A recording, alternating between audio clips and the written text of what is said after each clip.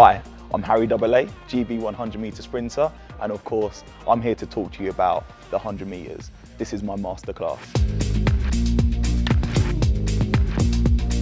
Firstly, let's talk about the perfect start. What are we thinking about when you're starting? Obviously, you need to be focused, you need to be thinking about your first few steps, you need to be thinking about how you're going to execute your race and set yourself up, remembering this is your race, no one else's. Now that we've spoken about mindset, let's talk about actually getting into the blocks. Obviously, you want to feel strong, you want to feel powerful, you want to be reactive. So you need to set your blocks up in a certain way that's going to allow you to execute your race in the way that you need to.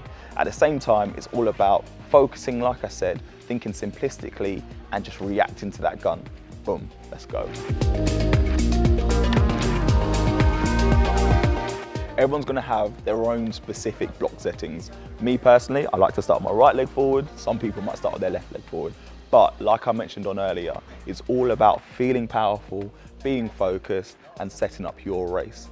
As you get into the block, you wanna be clear of mind. You always wanna be thinking about where you're going and how you're gonna set things up. You Once you're down in your position, you want a nice flat back. You wanna load the blocks nicely once you're into set, as I'm about to do now, and then you're off.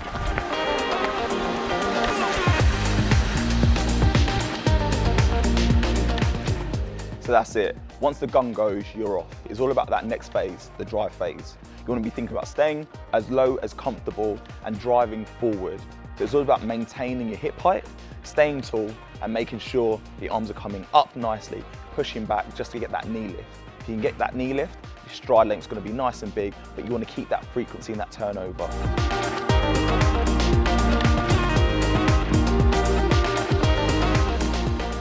Once you've got all of that settled, it's all about finishing strong. For me personally, it's always about thinking the whole process through step by step.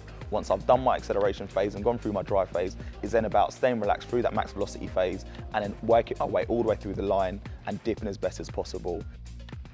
So that's it from me, Harry AA signing out. Let me know in the comments below how you get on, if you enjoyed my masterclass or not, and if you've put it into practice, it'll be great to know how you've got on.